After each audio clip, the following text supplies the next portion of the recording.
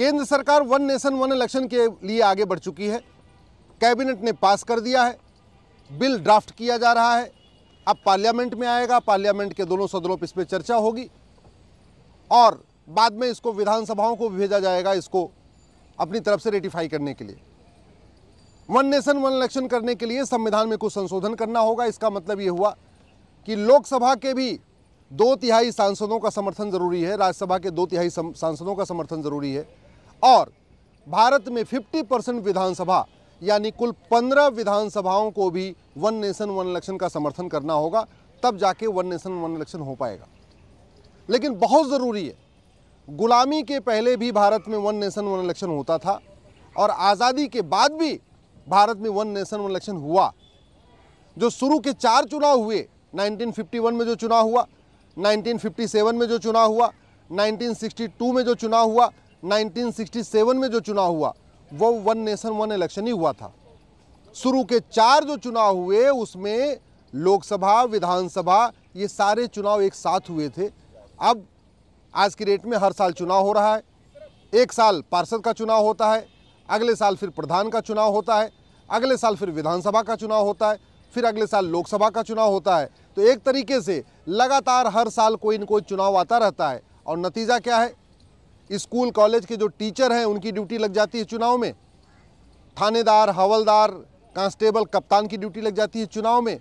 ADM, SDM, DM की duty लग जाती है चुनाव में। जितने भी गवर्नमेंट डिपार्टमेंट हैं, सबके सी ग्रेड और डी ग्रेड की एम्प्लॉज़ की ड्यूटी लग जाती है चुनाव में।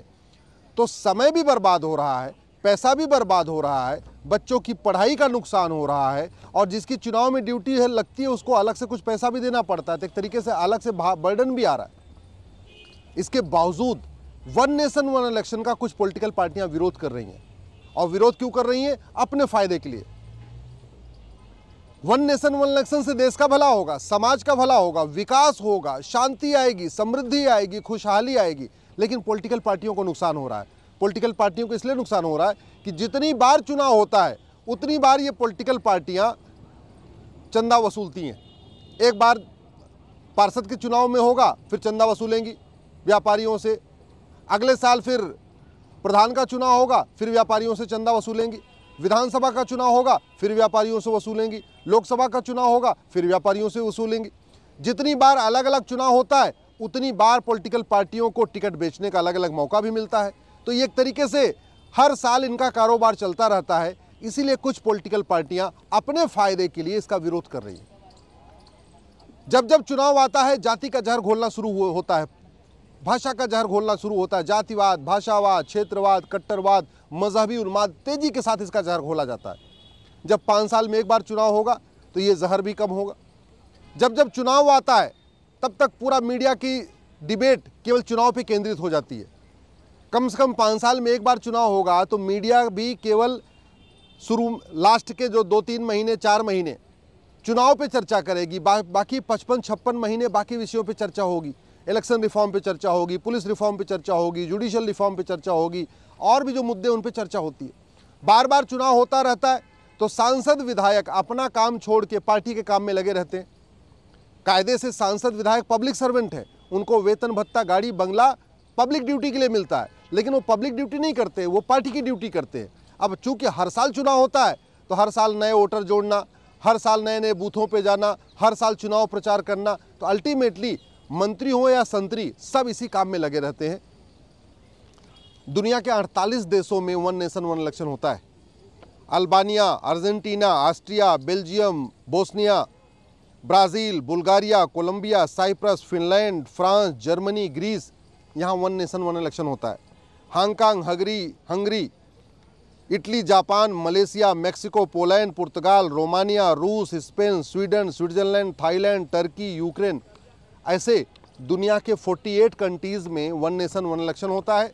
इलेक्शन की डेट फिक्स होती है और इन 48 देशों में तो वर्किंग डे में इलेक्शन भी नहीं होता। बाकायदा संडे को इलेक्शन होता है जिससे स्कूल की छुट्टी ना करना पड़े, स्कूल बंद ना करना पड़े, बच्चों का नुकसान ना हो गवर्नमेंट एम्प्लॉज़ को भी जो है ज़्यादा नुकसान ना हो। मतलब किसी भी तरीके के लोगों को समस्या ना हो, इसलिए इन 48 देशों में संडे को इलेक्शन होता है वन नेशन वन इलेक्शन होता है। जैसे ही चुनाव होता है अगले पाँच साल के बाद किस दिन चुनाव होगा, वो डेट भी डिक्लेयर हो जाती है। इतना बढ़िया सिस्टम चल रहा है। छोटे छोटे देशों में भी वन नेशन वन इलेक्शन हो रहा है बड़े बड़े देशों में वन नेशन वन इलेक्शन हो रहा है। कुछ लोग कहते हैं भारत इतना बड़ा है तो आपको बता दूँ, रूस भारत का पाँच गुना बड़ा है। एरिया के हिसाब से रूस भारत से पाँच गुना बड़ा है और वहाँ वन नेशन वन इलेक्शन होता है। तो ऐसा नहीं है कि वन नेशन वन इलेक्शन करने में बहुत बड़ी समस्या आएगी। वन नेशन वन इलेक्शन का सबसे बड़ा फ़ायदा ये होगा, जो चुनाव के बाद हिंसा शुरू हो जाती है। जैसे इलेक्शन में जब खत्म हो जाता है, उसके बाद पोस्ट पोल वायलेंस शुरू हो जाता है। ये भी रुकेगा। और होगा भी तो पाँच साल में एक बार होगा, हर साल नहीं होगा। जो ये काला धन हवाला का पूरा खेल चलता है इलेक्शन में, ये भी रुकेगा। और चलेगा भी तो पाँच साल में एक बार चलेगा, कम से कम हर साल नहीं चलेगा। ये जो मुफ्तखोरी वाली योजनाएँ हैं, ये मुफ्तखोरी भी पाँच साल में एक बार आएगी, हर साल नहीं आएगी। ये जो दारू बांटी जाती है, बाकी मीट का कारोबार बढ़ जाता है इलेक्शन के टाइम में, ये जो बाकी और भी बहुत सारी चीज़ें ऐसी हैं जो इलेक्शन के समय में होती हैं, वो भी कम से कम पाँच साल में एक बार होंगी। सामाजिक समरसता मज़बूत होगी। अभी इस इलेक्शन के समय में पॉलिटिकल पार्टियाँ समाज को एकदम तोड़ के रख देती हैं। दलित बनाम संवर्ण करेंगी, अगड़ा पिछड़ा करेंगी, ब्राह्मण छत्री करेंगी, या यादव और हरिजन करेंगी, ऐसे ऐसे बांटती जाती हैं। हर गाँव में पॉलिटिकल पार्टियाँ दो, तीन, चार फाड़ कर देती हैं और पूरे गाँव का ताना बाना ख़त्म कर देती हैं। नतीजा ये होता है कि इलेक्शन के बाद भी अच्छा चूँकि हर साल इलेक्शन होता है तो हर साल वो जहर घोलते रहते हैं, इसलिए लोग एक ही नहीं हो पाते। पाँच साल में एक बार चुनाव होगा तो पॉलिटिकल पार्टियाँ एक ही बार बांटेंगी, और एक बार बांटेंगी तो लोग दोबारा जुड़ जाएँगे तो कम से कम साढ़े पाँच, साढ़े चार साल तक लोग एक हो के रहेंगे। लोगों का अपना जो रिश्ता है, वो ख़राब नहीं होगा। इसलिए मेरा ये मानना है, वन नेशन, वन इलेक्शन बहुत ज़रूरी है, इसको करना चाहिए। इलेक्शन कमीशन ऑफ़ इंडिया कई बार कह चुका है, वन नेशन, वन इलेक्शन होना चाहिए। लॉ कमीशन ऑफ़ इंडिया कह चुका है, वन नेशन, वन इलेक्शन होना चाहिए। पार्लियामेंट स्टैंडिंग कमेटी कह कह चुकी है, वन नेशन, वन इलेक्शन होना चाहिए। और जब मैंने पीआईएल फ़ाइल किया तो उस समय कोर्ट की भी यही ऑब्जर्वेशन थी। कोर्ट ने भी कहा था, वन नेशन, वन इलेक्शन बहुत अच्छा है। लेकिन ये काम सरकार को करना पड़ेगा, क्योंकि बहुत सारे बदलाव करने पड़ेंगे, वो सरकारी कर सकती, कोर्ट नहीं कर सकती।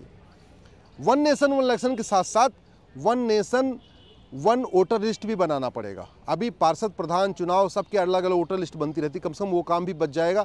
एक वोटर लिस्ट बनेगी जो कॉमन होगी, वो यूनिफॉर्म वोटर लिस्ट हो जाएगी, सबके लिए काम आएगी। लेकिन इसके साथ और भी कुछ ज़रूरी है। मिनिमम क्वालिफिकेशन भी अब सेट होनी चाहिए चुनाव लड़ने के लिए। मैक्सिमम एज लिमिट भी चुनाव लड़ने के लिए सेट होनी चाहिए। जब एक आदमी अनपढ़ अनाड़ी, होमगार्ड नहीं बन सकता तो फिर अनपढ़ अनाड़ी होम मिनिस्टर कैसे बन सकता है? एक अनपढ़ अनाड़ी अगर टीचर नहीं बन सकता तो वो शिक्षा मंत्री कैसे बन सकता है? एक अनपढ़ अनाड़ी अगर क्लर्क नहीं बन सकता तो वो वित्त मंत्री कैसे बन सकता है?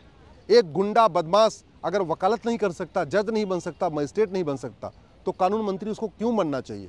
इसलिए मेरा मानना है, जैसे टीचर्स के लिए ऑल इंडिया लेवल पे टीचर एलिजिबिलिटी टेस्ट होता है, वैसे ही चुनाव लड़ने के लिए भी, विधायक बनने के लिए भी स्टेट लेवल का एग्ज़ाम होना चाहिए सांसद का चुनाव लड़ने के लिए ऑल इंडिया लेवल पे एक एग्ज़ाम होना चाहिए। लेजिस्लेचर एलिजिबिलिटी टेस्ट होना चाहिए। जो पास कर पाए, वही चुनाव लड़े। चाहे वो पार्षद हो, चाहे प्रधान, चाहे सांसद, चाहे विधायक पढ़ा लिखा सबका होना ज़रूरी है। पढ़ेंगे, लिखेंगे, अगर पढ़े लिखे लोग सांसद, विधायक बनेंगे, सर, पढ़े लिखे लोग मंत्री बनेंगे तो कम से कम संविधान को समझेंगे। संविधान में क्या लिखा है, संविधान क्या कहता है, कानून में क्या लिखा है, कानून में क्या क्या खामियाँ वो लोग समझेंगे। आज की डेट में अनपढ़, अनाड़ी, गंवार पार्षद प्रधान ही नहीं बन रहे, बल्कि सांसद विधायक भी बन जा रहे और बहुत सारे अनपढ़ अनाड़ी गंवार तो कानून मंत्री बन जाते हैं, शिक्षा मंत्री बन जाते हैं, चिकित्सा मंत्री बन जाते हैं, स्वास्थ्य मंत्री बन जाते हैं। इस पर रोक लगना चाहिए। इसलिए एक one nation, one election code होना चाहिए। One nation, one legislature code होना चाहिए। सांसद, विधायक, पार्षद प्रधान की ड्यूटी बाकायदा निर्धारित होनी चाहिए कि पार्षद को क्या क्या काम करना है, सांसद को क्या क्या काम करना है, क्योंकि अभी लोगों को पता ही नहीं है।